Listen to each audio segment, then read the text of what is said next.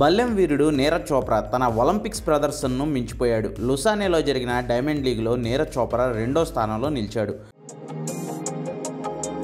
ఉత్సాహంగా ఉల్లాసంగా చదువు సాగాలి. గొప్ప గొప్ప ఉద్యోగాలు సాధించాలి. Vignan deem to be university.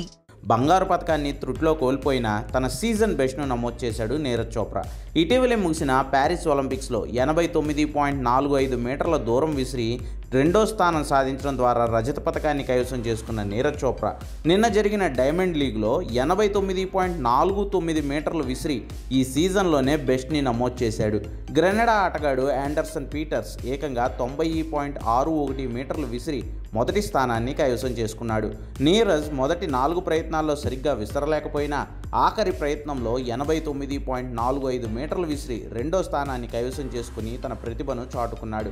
ఆశ్చర్యకరంగా ప్యారిస్ ఒలింపిక్స్లో బంగారు పథకం గెలిచిన అర్షద్ నదీం ఎనభై నాలుగు పాయింట్ రెండు ఒకటి మీటర్లు మాత్రమే విసిరి ఐదో స్థానంతో సరిపెట్టుకున్నాడు. ఏడాదికోసారి జరిగే ఈ డైమండ్ లీగ్లో రెండు వేల ఇరవై రెండు స్టాక్ హోమ్లో జరిగిన ఈవెంట్లో నీరజ్ చోప్రా విసిరిన ఎనభై తొమ్మిది పాయింట్ తొమ్మిది నాలుగు మీటర్లే ఇప్పటివరకు నీరజ్ కెరీర్లో బెస్ట్గా ఉంది.